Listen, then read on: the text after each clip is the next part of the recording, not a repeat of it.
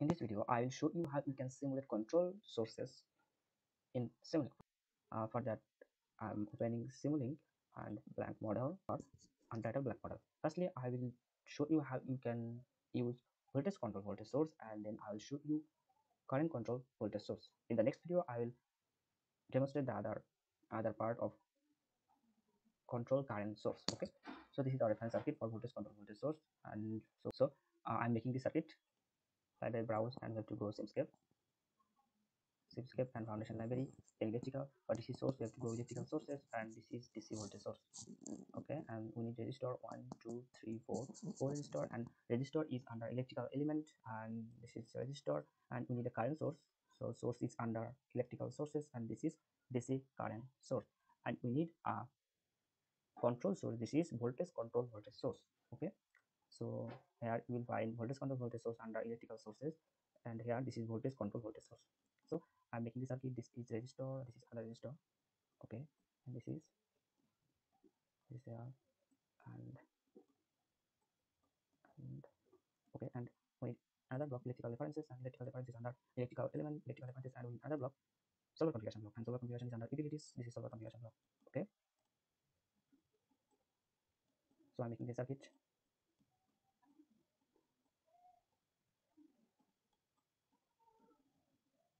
here you have to i'm making the circuit this is resistor this is other resistor okay? And this is this here and and okay? Concentrate here. This first you have to concentrate here. This is our actual this is our output voltage source and this uh, first two port is control source. So this is our output. So we are connecting this output source is here. So uh, sorry it will be rotated as minus part is on the upper side. So i'm rotating this Um, sorry we have to flip this block. So under format and we have to flip this block up and down. Okay? So minus portion is upper here and we are connecting this main output voltage block is here. And this is our electrical reference and solver configuration block. And our control voltage is v naught. So i'm connecting this plus portion to the positive portion of v naught and minus portion to the negative portion of v naught. Okay here another things this is this control voltage source has a gain of 5 so we have to change our gain to voltage gain 1 to 5 so now we have to put our numerical values this is 12 volt this is 2 ohm which is our v naught this is 8 ohm and our current source is 3 ampere this is 4 ohm and this is as usual 1 ohm.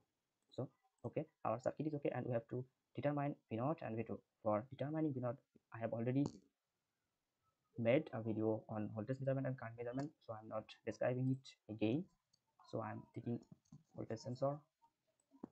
So as we need sorry we need two voltage sources okay? So this is our positive this is our v naught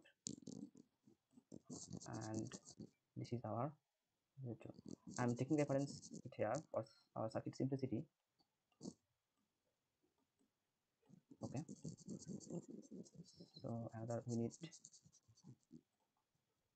yes Simulink converter i have already shown in my previous video. And a display block.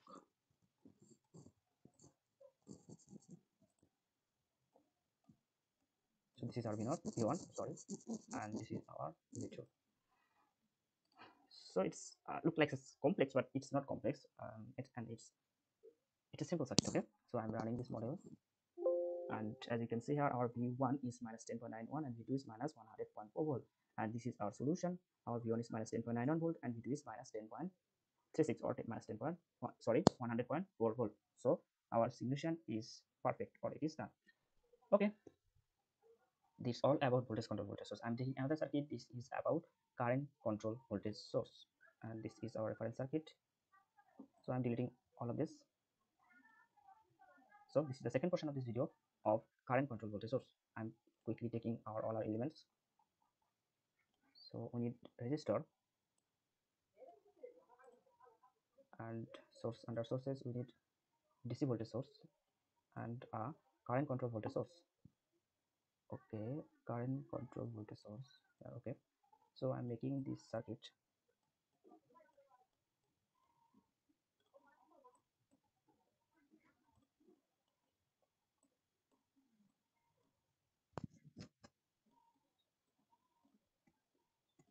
and critical reference unit. Under solver configuration block. Under utilities okay now i'm making the circuit. This will be connected here and this will be connected here and this. Okay. Here you have two circuit.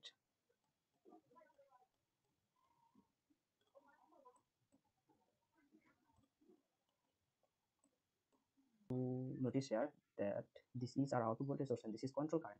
So i'm connecting this here and this will be connected to 3 ohm. And this will be connected here. And it will be connected here. And it will be connected here. Okay. Okay. Okay i'm putting numerical values. So this is 2 ohm.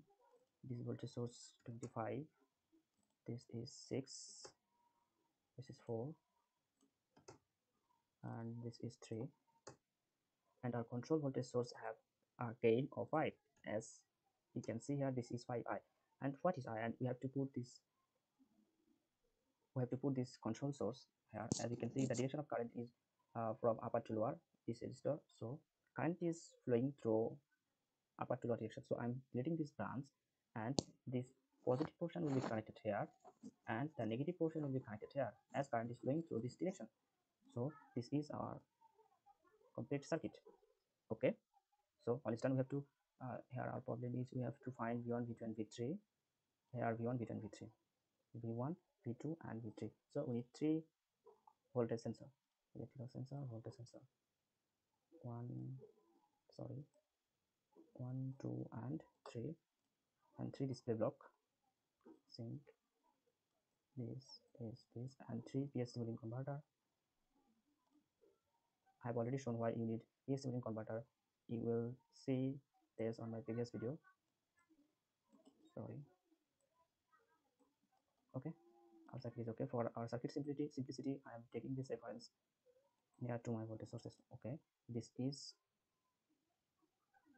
node voltage v1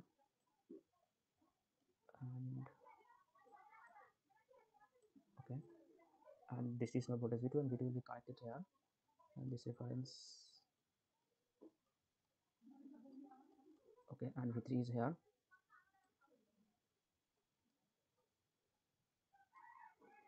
So this is a v1 v2 and v3 okay our circuit is okay now i'm running this circuit. Uh, okay this is all our values. And our v1 is 7.609 and this is our actual value from solution and v2 is minus 17.39 minus 17.39 and v3 1.63 this is 1.63 so that's all for today. Thanks for watching. If you enjoyed this video and found it helpful, please hit the subscribe button and turn on notifications so you won't miss our future video.